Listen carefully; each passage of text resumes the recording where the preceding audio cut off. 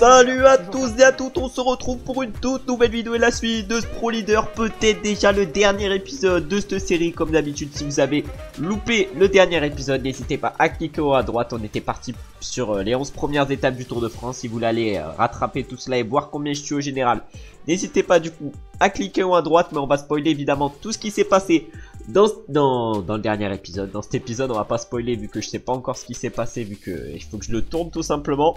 Mais du coup, comme d'habitude, avant de partir pour cet épisode, n'hésitez pas à lâcher un petit like et à me soutenir parce que malheureusement, voilà, les stats, elles sont, ils sont pas et elles sont pas monstrueuses plutôt sur cette série. N'hésitez donc pas à me soutenir et là, on va partir directement pour voir mais où j'étais placé justement au classement général après la première partie de ce Tour de France et j'étais donc deuxième avec mon coureur à 21 secondes seulement Merckx. Ça va être serré, on va voir si je peux le battre. Ça va être tout simplement l'objectif de battre Eddie Merckx.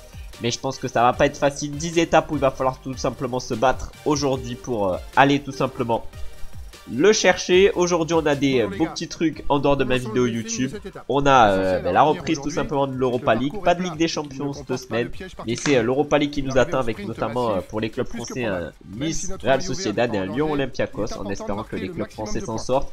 Même si voilà, Nice et Lyon, c'est pas trop des équipes que j'apprécie.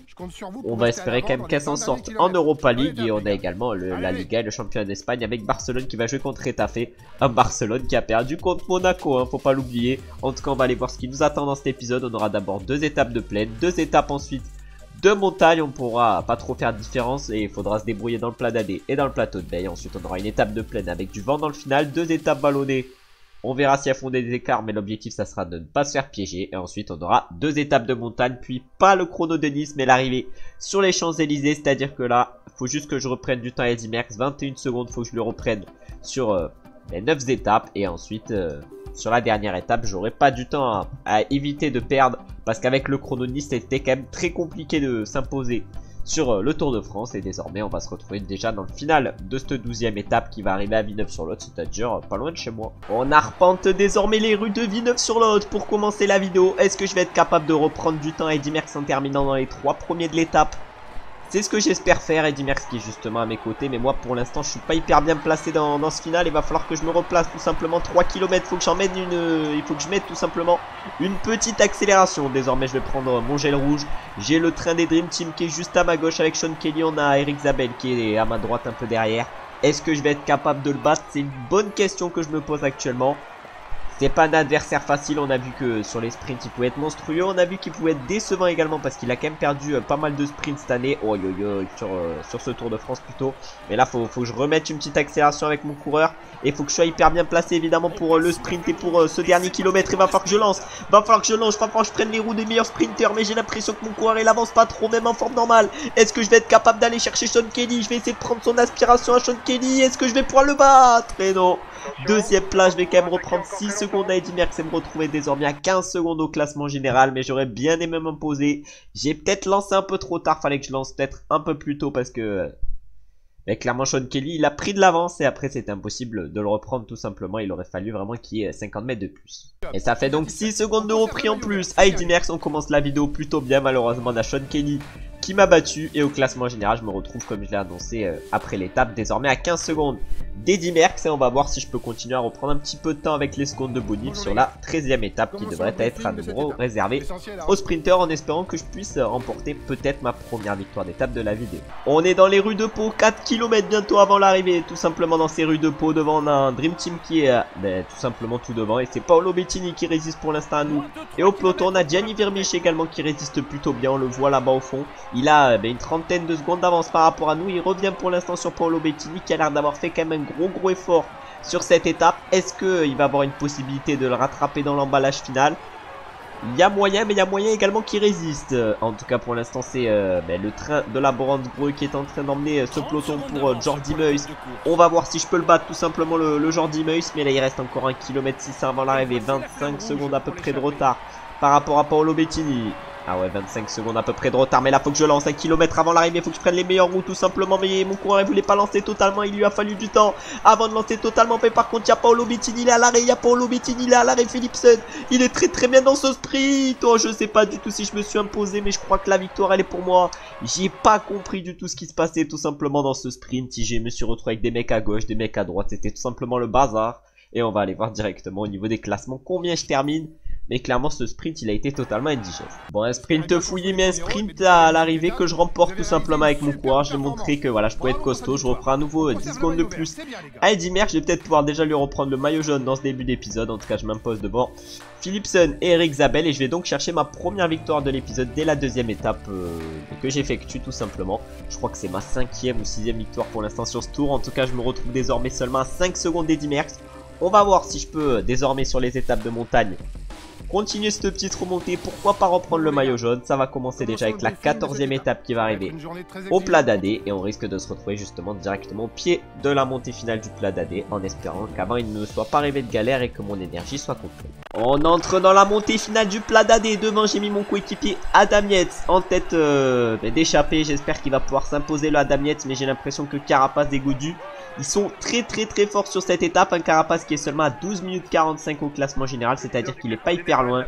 Mais je pense qu'il va y avoir des écarts aujourd'hui sur cette étape. Vu que le tempo emmené il est quand même très costaud depuis le départ. Et je vais essayer moi d'être à mon rythme tout au long de ce pladadé qui normalement fait pas trop de dégâts à mon coureur. On va voir si euh, ça peut continuer comme cela. Et on va voir si je peux éviter de perdre du temps par rapport à Eddie Merckx qui est quand même mon grand adversaire et qui est plus qu'à 5 secondes et qui a plus que 5 secondes plutôt d'avance par rapport à mon coureur général et pourquoi pas essayer de lui reprendre le maillot jaune avant la prochaine étape qui sera également une étape de montagne importante. Il reste désormais moins de 5 km avant l'arrivée dans ce plat d'AD même si les pourcentages sont costauds. Hein. Du km 4 à 8,5% ça rigole pas.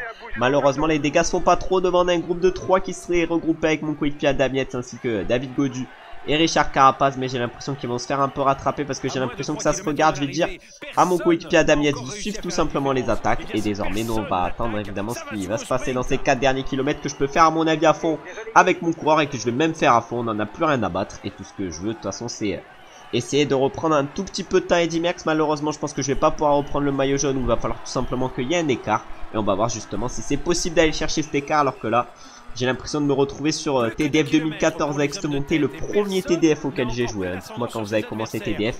Et moi c'était sur TDF 2014 avec cette étape que j'ai dû faire. Euh, non pas, pas exactement celle-ci, mais l'étape qui arrive au plat d'AD, je dû la faire une, cinquantaine de fois. Hein. C'était trop une dinguerie. Je mettais une attaque avec euh, un itinéraire c'est tout. Là tu fracassais tout le monde tout simplement. En tout cas il reste encore 3 km 300 avant l'arrivée. Là on a un Merckx qui a l'air d'avoir des fourmis dans les jambes. Eddie Merckx il a tout simplement des fourmis dans les jambes. C'est même pas qu'il a l'air d'en avoir c'est qu'il a des fourmis dans les jambes. Ah, mais avant, ce virage, tu pouvais vraiment le faire à bloc. Désormais, faut, faut essayer de ne pas le faire trop vite. Alors que Eddie Merckx et Pogacar, ils ont accéléré, mais pas trop. On est parti à 3 pour le moment. Mais on a Vingegaard derrière qui essaye de suivre. Ah, mais moi, il faut que j'en mette une. Faut que j'en mette une tout simplement avec mon coureur. Faut que j'essaye de distancer tous ceux qui essayent de s'accrocher à Marou.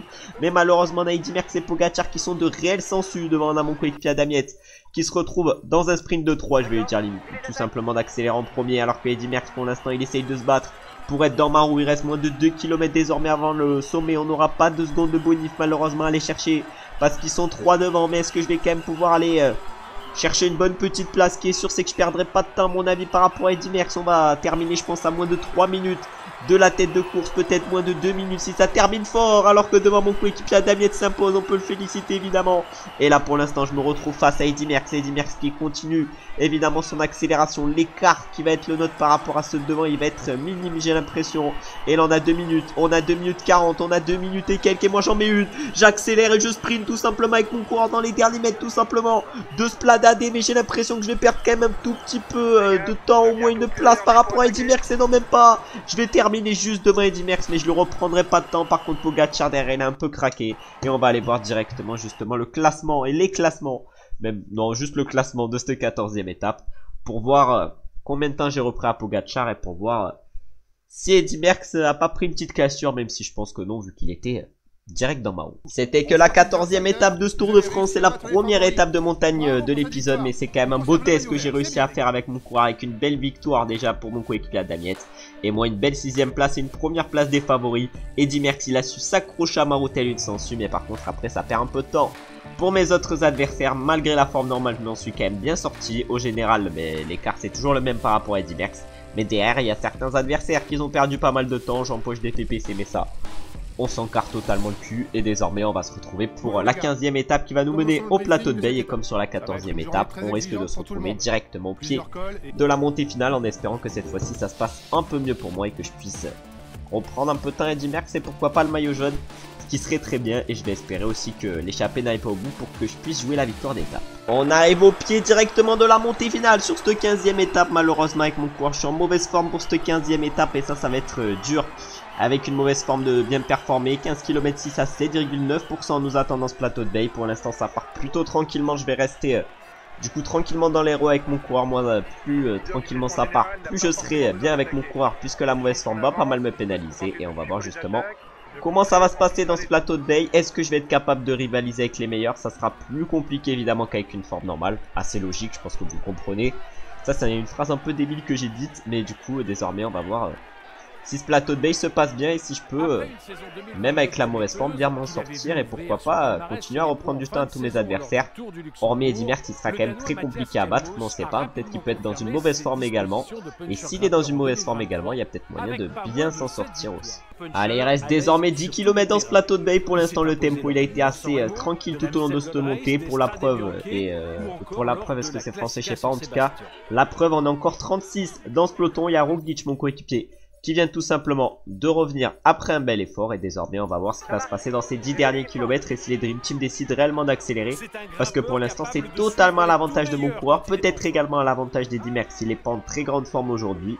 Et on va voir désormais euh, si dans ces 10 derniers kilomètres il se passe réellement des dingueries alors que les Dream Team ont l'air de vouloir un petit peu accélérer et que devant le groupe de 5 par contre il a l'air euh, de composer des coureurs, euh, a l'air d'être composé plutôt que de coureurs complètement cul. Peut-être que j'aurais dû être un peu mieux placé avec mon coureur parce que là il y a une accélération totale dans le peloton et moi j'étais pas du tout bien placé avec mon coureur, je me suis donc fait euh, bah, totalement distancé dans ce plateau de bail et désormais va falloir que j'essaye de revenir à mon rythme alors qu'il y en a un qui a profité de bah, que je me fasse distancer pour accélérer c'est Eddy Merckx avec euh, son coéquipier Gino Bartali moi j'ai mon coéquipier Guérin Thomas qui est pour l'instant euh, présent pour m'aider. Et il y en a un qui a l'air très costaud c'est Tadej Pogacar devant 3 minutes mais pour l'instant ma montée elle est gérée un peu ignoblement. Il va falloir que tout simplement j'accélère le rythme dans ce plateau de bail et que je mette même un énorme rythme en espérant que je puisse revenir sur ce tout devant, alors que d'abord, évidemment, je vais revenir sur mes coéquipiers. Pour l'instant, l'étape se passe pas hyper bien pour moi avec mon coureur. Il reste encore 5 km avant le sommet. Désormais, c'est euh, Primoz Roglic qui va rouler tout simplement pour euh, mon équipe. On va espérer, évidemment,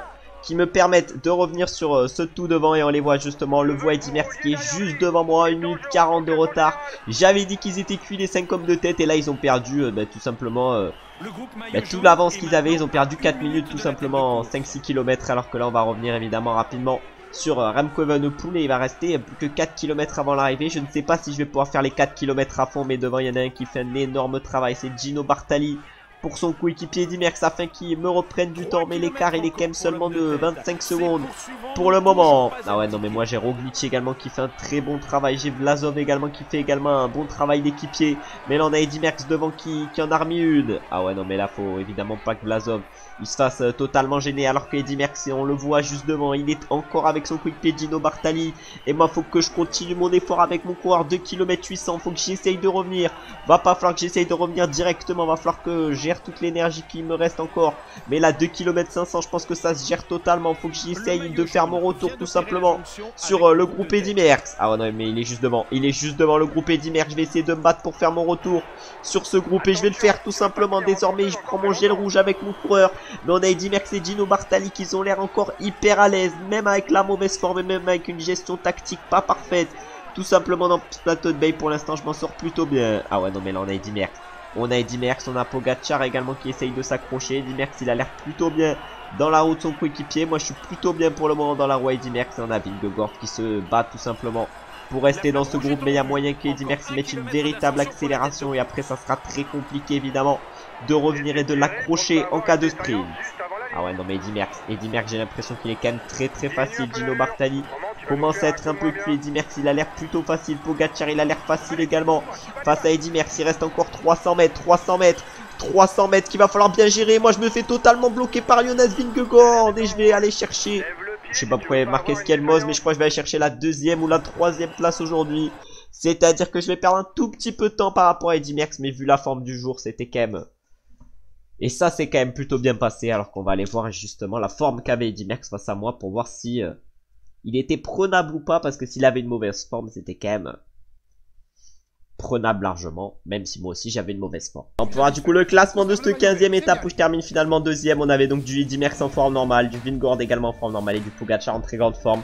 Je m'en sors du coup très très bien avec mon coureur en perdant seulement 4 secondes par rapport à Eddy Merckx. Je me retrouve désormais à 9 secondes de lui au classement général et là on va être sur des étapes où je vais clairement pouvoir lui reprendre du temps vu que ça sera pas des étapes euh, type haute montagne et euh, ces étapes elles vont commencer tout simplement avec une étape pour les sprinters qui va nous mener à Nîmes en espérant que je puisse euh, aller chercher un podium pour reprendre un peu de temps Eddy Merckx avec les secondes de bonif tout simplement. Finalement il n'y avait pas trop de vent tout simplement sur cette 16 e étape malheureusement comme sur l'étape juste avant je me tape une mauvaise forme avec mon coureur. Bon là on commence à être une dans une période un peu de creux sur ce Tour de France avec des mauvaises formes, des formes pas fous. Ça avait été la même chose un peu euh, mais sur le Tour de France de l'année dernière où il y avait eu la très grande forme sur euh, ben, la dernière étape qui m'avait bien aidé, qui m'avait permis de prendre une avance considérable par rapport à Eddy Merckx, une avance que j'avais perdue malheureusement sur le chrono. Bon une avance considérable, j'avais pris une minute 40 d'avance puis j'avais tout perdu sur le chrono malheureusement. C'est-à-dire que de toute façon je pense que sur la 20 e étape on va pas se mentir, je vais essayer d'utiliser la même stratégie. On verra si elle se passera aussi bien que sur le dernier TDF, euh, oui, que sur le dernier TDF. Pas sur le dernier jeu, mais sur le, dernier TDF que j'ai effectué tout simplement face au Dream Team. Et là, je me fais bloquer tout simplement dans mon sprint final, mais j'ai zappé. Mais si je remporte cette étape, tout simplement, je prendrai le maillot jaune avec mon coureur. Est-ce que je vais en être capable? Pour l'instant Mon sprint, il est excellent. Est-ce que je vais être capable de m'imposer? Oh ça va se jouer à rien mais je crois que j'ai réussi à aller chercher la victoire d'étape avec mon coureur Et si c'est bel et bien le cas je vais prendre le maillot jaune tout simplement pour l'étape d'après, mais on va aller voir ça directement au niveau des classements.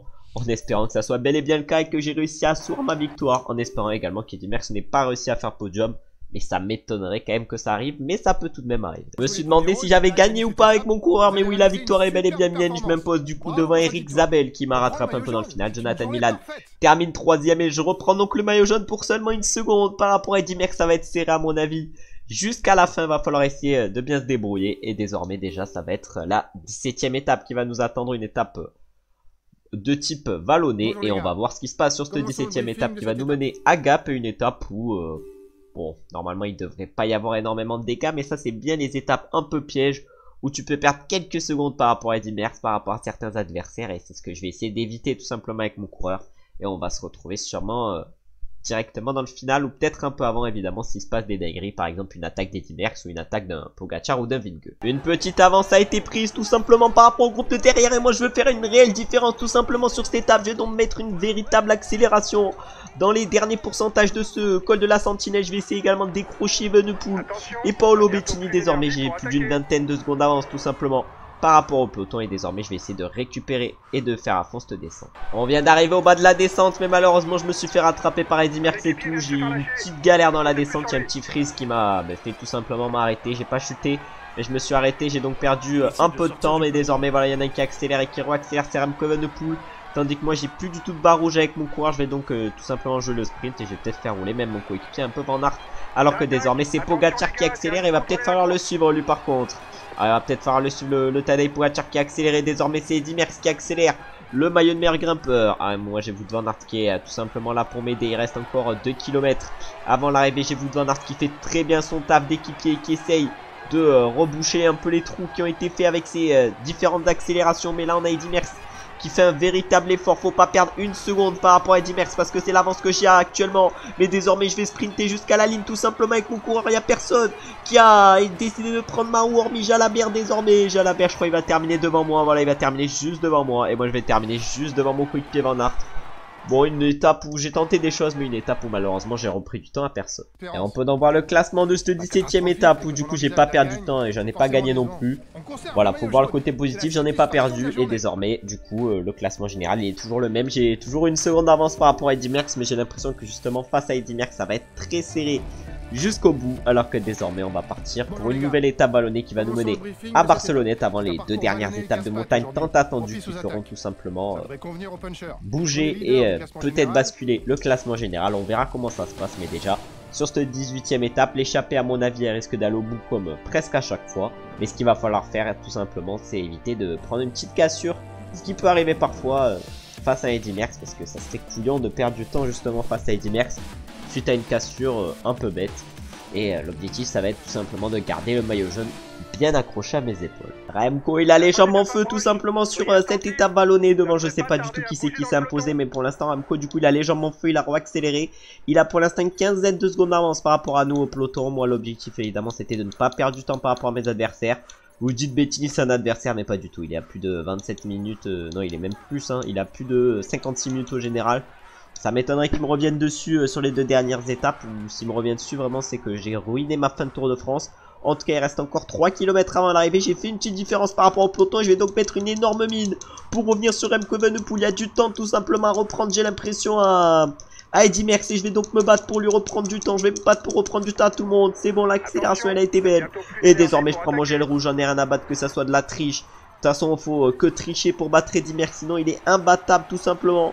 En tout cas, euh, il y a désormais une trentaine de secondes d'avance par rapport à Eddie Merckx. On le voit et on l'aperçoit un petit peu derrière. Il revient actuellement sur euh, Remco. Mais moi, désormais, je vais lancer un réel sprint dans ces 700 derniers mètres. Et c'est comme une victoire tout simplement pour moi avec mon coureur. La bonne forme a dû bien m'aider dans ces trois derniers kilomètres et je vais reprendre un peu de temps à Eddy Merckx avant les étapes de montagne qui vont être euh, tout simplement euh, déterminantes pour euh, la fin de ce Tour de France et pour le classement général de ce Tour de France que j'espère enfin remporter. Et on peut voir du coup le classement de cette 18ème étape qu'a remporté devant Albanese et devant Thibaut Rota dans l'échappée. Moi je termine donc à 8 minutes 44 avec mon coureur et le peloton termine à 9 minutes 03. Je reprends donc 19 secondes au peloton et au général désormais mon avance est de 20 secondes par rapport à Eddy Merckx, un peu plus de 2 minutes par rapport à Tadej Pogacar avant les deux étapes de montagne qui vont être comme je l'ai dit juste avant déterminantes pour le classement général en espérant que la forme reste la même que sur la 18ème étape où elle était bonne et on va se retrouver déjà sur cette 19ème étape directement au pied de la montée finale de l'Alpe d'Huez, une montée mythique et une montée où il va falloir éviter à tout prix de perdre du temps par rapport à Eddy Merckx parce qu'après sur la 20ème étape ça sera autre chose et ça sera encore plus dur. On arrive dans l'Alpe d'Huez tout simplement devant on a Guérin Thomas qui est avec euh, Joao Almeida qui est avec David Godu qui est avec Carapaz. du lourd tout simplement dans, dans cette échappée. Nous on a une 30 pour l'instant de retard par rapport à cette échappée. Pour l'instant c'est les Dream Team qui roulent en tête de ce peloton. Cette montée de l'Alpe d'Huez, fait donc 13 km 800 à 8,2%. C'est compliqué, de toute façon, comme toutes les montées finales. Hein. Souvent, c'est pas des montées euh, en carton qu'on se tape, mais du coup, on est encore 29 pour l'instant dans le peloton. Il me reste la plupart de mes coéquipiers. Il me reste Roglic, il me reste Adam Yates, il me reste euh, Thomas qui est dans l'échappée. Il m'en reste encore un autre, il van Aert un peu cuit. Voilà, il me reste Vlasov et Wout van Aert un peu cuit. En plus, j'ai eu de la chance au niveau des, formes. Avec mon suis en bonne forme. Roglic, il est en très grande forme, c'est-à-dire qu'à mon avis, il va pouvoir très bien m'aider aujourd'hui dans cette Alpe d'Huez. En tout cas, je l'espère et on a Adam Yates en forme normale et Vlasov en bonne forme. On va voir évidemment si euh, avec un peu de chance je suis capable de bien m'en sortir mais normalement euh, je pense que je peux aller chercher la victoire d'étape si je gère bien avant de partir pour la 20 e étape ou comme sur euh, le TDF de la saison dernière j'essaierai de tout ben, faire partir en cacahuète en espérant que ça me réussisse aussi bien que sur ben, le TDF de la saison dernière. N'hésitez pas à aller le voir. Hein. C'est le 28e épisode, en tout cas c'est le dernier épisode avec la mini en jaune. Il y avait évidemment euh, le premier épisode euh, de ce Tour de France où il y avait la mini jaune, c'est-à-dire l'épisode d'avant. Mais c'est l'épisode encore d'avant avec la mini en jaune, c'est-à-dire c'est il y a trois épisodes. Peut-être que je vous mets totalement les pinceaux. On va se reconcentrer en tout cas sur euh, l'Alpe d'Huez. Et on va voir si je peux être capable de battre Eddy qui est pour l'instant là-bas devant avec son maillot à point. Le tempo est toujours important pour l'instant dans ce peloton et ça fait craquer tout simplement les moins forts. On n'est plus que 21 désormais dans ce peloton. Il me reste à peu près tout mon équipe. Il reste Roglic, il reste Guerin Thomas, il reste Vlasov, il reste Adam Clairement une équipe encore très costaud autour de mon coureur. Mais par contre là il y en a encore quelques coureurs qui sont en train de craquer, tandis que moi pour l'instant avec mon coureur je suis quand même plutôt à l'aise. Et il y a Pogachar qui porte ses couronnes et qui attaque à 5 km du sommet, tout simplement on a Carapace qui craque, on a les coéquipiers d'Eddy Merckx j'ai l'impression qu'ils veulent accélérer, tandis que moi je me fais pousser évidemment dans l'herbe par mon propre coéquipier Adamiette. Et désormais on va voir euh, ce qu'il se passe alors que pour l'instant c'est les Dream Team qui vont rouler j'ai l'impression. Derrière Tadej Pogacar, il y en a un autre qui fait l'effort tout simplement. C'est Non mais pourquoi un coéquipier à Pogacar fait l'effort derrière Pogacar? Pas très logique qu'il a fait Juan Ayuso. Il est un peu comme en vrai, il, il fait pas trop des stratégies d'équipe, il en a un peu marre de la UAE. Et on va voir évidemment ce qui se passe dans ces 4 derniers kilomètres alors qu'il me reste encore des coéquipiers plutôt vaillants. Et désormais on entre dans la phase d'accélération d'Eddy Merckx tout simplement avec son coéquipier Gino Bartali. C'est toujours la même chose qui se passe. Et on va voir si euh, je suis en capacité de les suivre alors que moi je me fais gêner évidemment par Félix Gall. On a Sepkus qui commence à être un peu cuit. Moi je vais tout simplement accélérer avec mon corps pour éviter de me faire distancer par Eddy Merckx et Gino Bartali. Ah non mais moi je fais l'effort en personne seul seul au monde. Je suis revenu sur Eddie Merckx. Moi, Eddie Merckx, je vais laisser faire ce qu'il veut.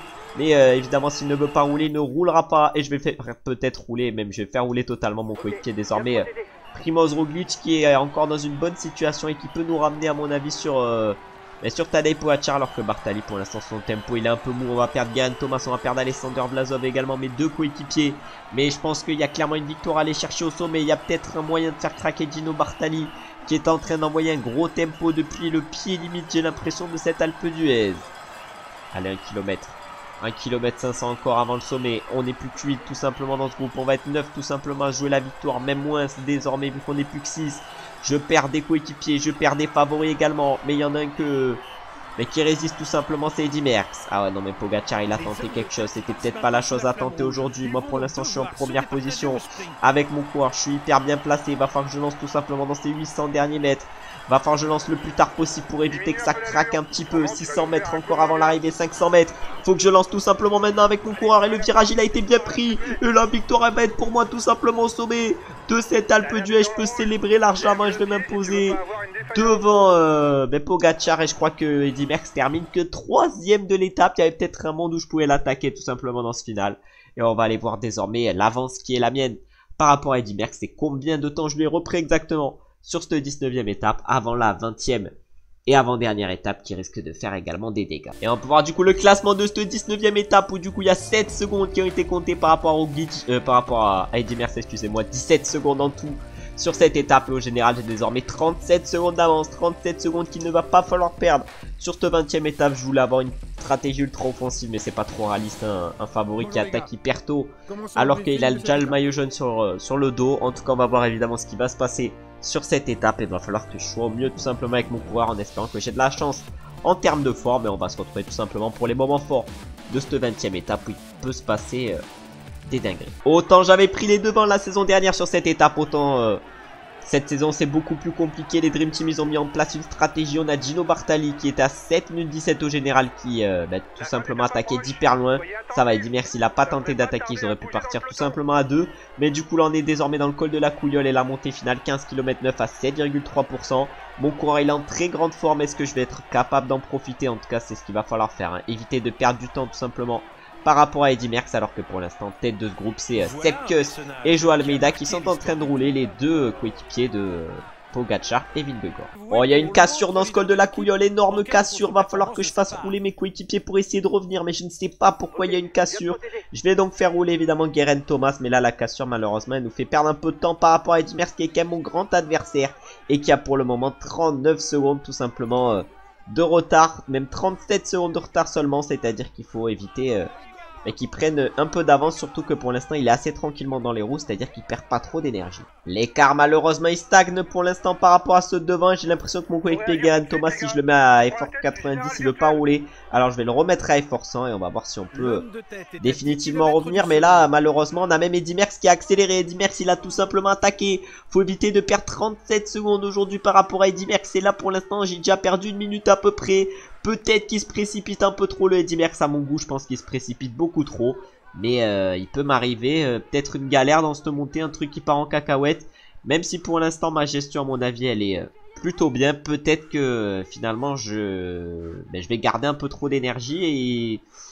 Et Eddy Merckx il aura géré parfaitement. En tout cas pour l'instant je vais laisser mon coéquipier Guerin Thomas et je vais espérer Gahan Thomas rouler plutôt et je vais espérer pouvoir revenir sur ceux de devant alors que là Gahan Thomas fait un énorme effort et qu'on revient désormais sur mes deux autres coéquipiers euh, qui étaient dans le groupe juste devant. Il reste encore Vingegaard devant avec euh, Pogacar et Sean Kelly qui est encore là. Non mais c'est du grand n'importe quoi Sean Kelly qui est euh, présent à 8 km du sommet du col de la Couillole avec Pogacar et, et Vingegaard. Bon, un peu n'importe quoi, surtout que moi je me retrouve seulement avec Van Aert et Guerin Thomas. Hein. Ça met un Guerin Thomas au niveau de Sean Kelly. Un mec qui a quand même emporté un, un Tour de France, qui a terminé deuxième du Giro il y a deux saisons. Voilà, c'est un mec quand même qui est assez costaud, qui a failli remporter le Giro quand même. Mais là, pour l'instant, du coup, on a car une minute toujours de retard par rapport à Eddy Merckx. Il va falloir tout simplement rouler à son propre rythme et à son propre tempo jusqu'au sommet. Et on va voir si je peux revenir alors que Bartali risque d'attendre Eddy Merckx et risque de rouler pour Eddy Merckx. Tandis que moi, pour l'instant, c'est mon coéquipier. Évidemment, Guerin Thomas qui est en train de rouler qu'on n'est plus que 8 désormais à se suivre, c'est-à-dire que derrière les mecs sont complètement culs. Malheureusement, Guerin Thomas c'est terminado pour lui. J'espère qu'avec Vingegaard et Pogacar, on va pouvoir bien relayer tout simplement désormais dans ce col de la couillole il va falloir essayer de bien s'en sortir. La très grande forme est quand même bien là pour m'aider aujourd'hui. J'ai Pogacar et Vingord qui sont les deux seuls à me suivre et on va voir si... Euh, je peux revenir sur Eddy Merckx et Bartali qui sont à une minute devant avec un Bartali qui doit rouler pour Eddy Merckx. De toute façon, ce que je dois ne pas perdre, c'est 37 secondes. Et on va voir justement si je peux ne pas les perdre ces 37 secondes. Alors pour l'instant, je roule et qu'il reste encore 5 km avant le sommet. Et que désormais, Merckx, j'ai l'impression que... Il se fait quand même bien emmener par son coéquipier, même si je pense qu'il est parti de beaucoup trop tôt et qu'il va en payer euh, les frais et le prix tout simplement juste après. Alors que moi pour l'instant, j'ai euh, Pogacar et Vingord qui a un peu, de mal à me suivre. Pogacar et Vingord, ça commence à être bien compliqué d'air pour eux. Ils ont perdu quand même une quinzaine de secondes par rapport à mon coureur. Et moi par contre, je suis en train de revenir sur euh, Eddy Merckx et Bartali qui sont juste devant. Il n'y a plus qu'une vingtaine de secondes qui nous séparent. Je suis en train de faire un comeback de je ne sais pas où. Eddy Merckx, j'étais euh, assez confiant en me disant qu'il était parti beaucoup trop tôt, mais ça pouvait arriver qu'il est euh, finalement très très bien géré, mais ça n'a pas l'air d'être trop le cas. Et là, je reviens à moins de 20 secondes désormais d'Eddy Merckx. On a Vingegaard et Pogacar qui sont galères par contre derrière. Ils sont un peu cuits j'ai l'impression. Et moi je vais revenir sur Eddy Merckx à 3 km du sommet. Il faudrait éviter qu'ils mettent une banderie, même si Bartali il a l'air encore très très bien. Moi je reviens quand même sur euh, Eddy Merckx, 3 km. Ma barbe bleue elle est pas monstrueuse, mais j'arrive tout de même à revenir. Et je pense que la barbe bleue d'Eddy Merckx elle est pas monstrueuse non plus en tout cas. Je l'espère et je vais tout simplement me mettre dans sa roue à Eddy Merckx en espérant qu'il euh, ne me distance pas alors que c'est Eddy Merckx qui roule avec Bartali dans sa roue. Eddy Merckx il en met une tout simplement, il veut me distancer. Aujourd'hui le Eddy Merckx il a l'air quand même de s'en sortir très très bien sur cette étape. Ah ouais non mais c'est du grand Eddy Merckx aujourd'hui, c'est du très très grand Eddy Merckx et moi faut que je gère. Faut que je sois au régulateur tout simplement dans ce de la couillole, faut pas que je ne perde. Il faut pas que je perde plus de 37 secondes aujourd'hui. Ah ouais, non, mais 2 km, ça va être très très long. Faut que je ralentisse un peu le rythme.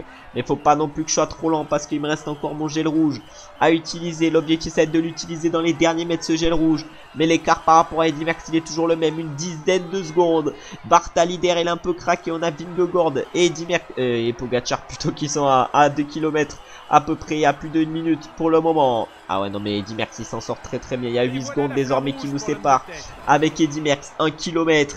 Oh là là là, mais ça va être dur, ça va être dur, faut pas que je perde plus de 25 secondes aujourd'hui, non plus de 35 secondes, plus de 30 secondes même aujourd'hui par rapport à Eddy Merckx. Est-ce que je vais être capable de bien résister? Je prends désormais mon gel rouge, je le prends entièrement mon gel rouge, il reste encore 600 mètres avant le sommet. Eddy Merckx il s'en sort très très bien, il va sûrement me mettre plus d'une dizaine de secondes au sommet à mon avis, mais pas beaucoup plus. Et je pense que le Tour de France va être remporté tout simplement avec mon coureur, même si je craque tout simplement. Dans ces derniers mètres, normalement la victoire va pour moi. Sur ce Tour de France, j'ai extrêmement bien résisté par rapport à Eddy Merckx et je vais perdre seulement 11 secondes.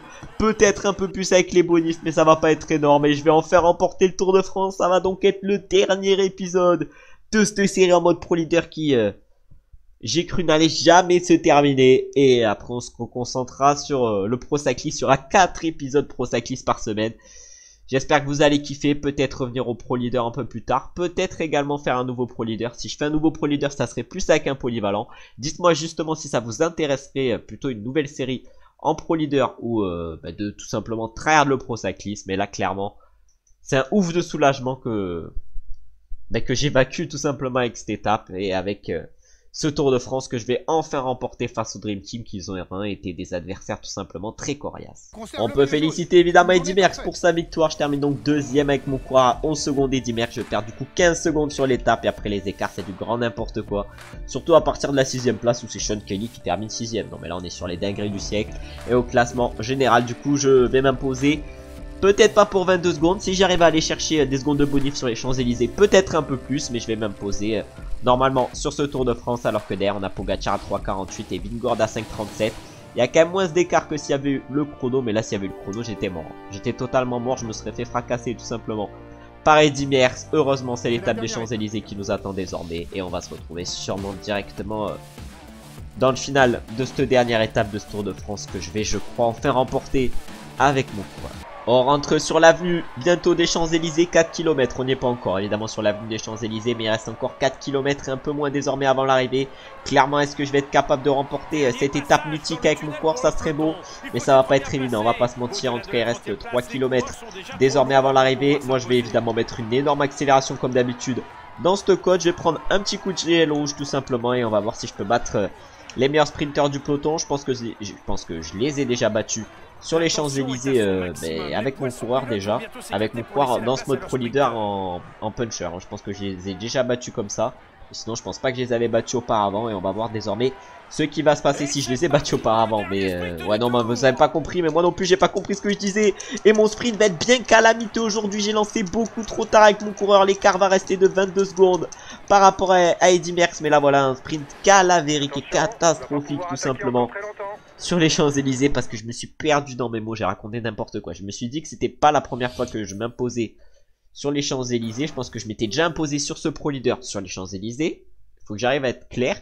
Mais par contre, c'est pas la première fois, évidemment, je m'imposais face au, face sprinter parce que je me suis déjà imposé face au sprinter sur ce Tour de France. En tout cas, on peut voir le vainqueur de cette dernière étape qui est donc euh, qui est donc Philipson tout simplement. On nous voit sur les podiums de Nice, malheureusement c'est pas le podium et les podiums des Champs-Élysées. Le maillot jaune, c'est donc moi qui le remporte enfin avec mon coureur après euh, de nombreuses saisons à l'avoir poursuivi. Il est enfin sur mes épaules. Le maillot vert également, il est pour moi. Clairement le coup du maillot jaune, maillot vert.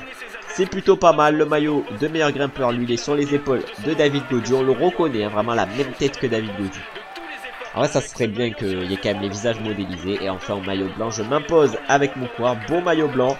J'aurais donc remporté le maillot jaune, le maillot vert et le maillot blanc. Un Tour de France réussi. J'espère pouvoir en réussir des aussi bien en Pro Cycliste des Tours de France et on va aller voir directement les classements euh, finaux de ce Tour de France où j'aurais remporté de nombreuses étapes où j'aurais été euh, tout simplement très très bon. Sixième place tout simplement sur cette étape des Champs-Élysées. Je m'impose finalement du coup avec 22 secondes, rien n'a changé. 22 secondes d'avance sur Eddy Merckx, 3.48 sur Pogacar, 5.37 sur Vingord et plus de 8 minutes sur Bartali. Après Bonnepool termine sixième à plus de 16 minutes. Les écarts c'est du n'importe quoi à partir de la sixième place. Au niveau du, du classement de meilleur grimpeur, je termine troisième avec mon coureur derrière Eddy Merckx et David Godu au maillot vert. Là, par contre, je m'impose. Au maillot blanc, je m'impose également. Au classement par équipe, on s'impose finalement avec notre équipe de la Potico Meta devant la Dream Team. Et au classement de la combativité, là, c'est Quentin Pacher qui s'impose. J'aurais remporté de nombreuses étapes sur ce Tour de France. Je pense j'en ai remporté au moins 7.